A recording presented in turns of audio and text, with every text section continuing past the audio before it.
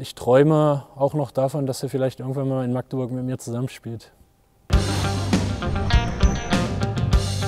Ich bin Matthias Musche, bin 28 Jahre alt und spiele beim SC Magdeburg auf links außen und heute präsentiere ich meine Top 7. Im Tor habe ich mich entschieden für äh, Dario Quenstedt ein ehemaliger Mitspieler von mir beim SCM und äh, einer meiner besten Freunde. Deshalb äh, fiel mir das eigentlich leicht, da ich mich heute entschlossen habe, keinen aus meiner aktuellen Mannschaft zu nehmen, äh, weil ich genau weiß, was das für Sprüche in der Kabine gibt und äh, dann fiel die Wahl leicht äh, für Dario. Ja, links außen habe ich mich sehr, sehr schwer getan. Ich habe mich für Lars Christiansen entschieden. Das war wirklich über Jahre äh, ein Traum, ihm, ihm zuzugucken und sicher vom 7-Meter-Punkt sehr sicher äh, von links außen im Abschluss, variantenreich. Also das war schon schön anzusehen.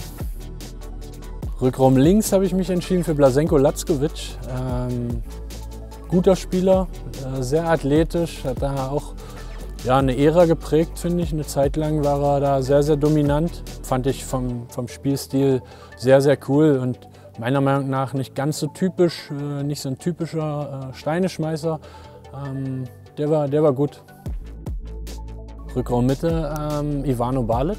Ähm, ich darf ja nur Spieler nehmen, die mal in der Bundesliga gespielt haben. Und jetzt bin ich ganz froh, dass Ivano mal kurz bei Wetzlar war, weil ich war ein großer Fan von ihm. Das war einfach äh, unberechenbar, was er da auf dem Feld macht, äh, machte. Und ja, gute Würfe, gute Anspiele. Also der konnte eigentlich alles. Das war wirklich äh, ein sehr, sehr spielintelligenter Handballer und ja, Vorbild für mich gewesen, obwohl es nicht meine, meine Position war. Aber fand ich, fand ich immer cool, wie er gespielt hat. Und deshalb bin ich froh, Ivano Balic äh, auf Mitte nehmen zu können.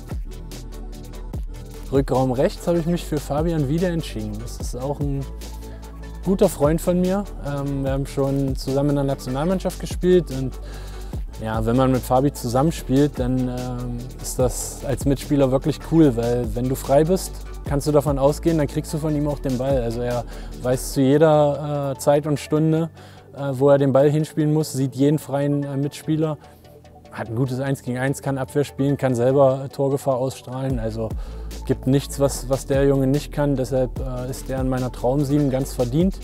Und ich träume auch noch davon, dass er vielleicht irgendwann mal in Magdeburg mit mir zusammenspielt. Rechts außen Christian Sprenger, der äh, jetzige Co-Trainer vom THW Kiel. Ähm, hat damals beim SCM gespielt, als ich, ja, also ich war ein ganz junger Jugendspieler und äh, mit 14, 15 habe ich mal vor dem Training ein 4 Meter Werfen mit ihm gemacht und er hat glaube ich 10 oder 12 Mal den gleichen Wurf gemacht und ich konnte ihn nie halten, obwohl ich genau wusste, was kommt.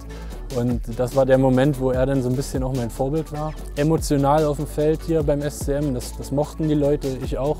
Und äh, auch ein, ein super Rechtsaußen einfach. Also Rechtsaußen Christian Sprenger.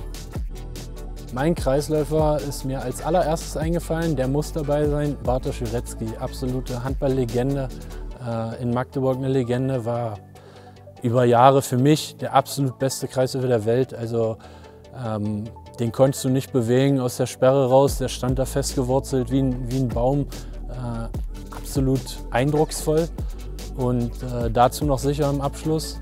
Aber was das Allerwichtigste ist, der war in der Kabine oder in der Freizeit wie ein Papa. Der war einfach so lieb und hilfsbereit. Äh, ein ganz, ganz, ganz toller Mensch und deshalb Bartosz Wirecki ohne Wenn und Aber mit äh, meilenweitem Abstand äh, am Kreis in meiner Traumsieg.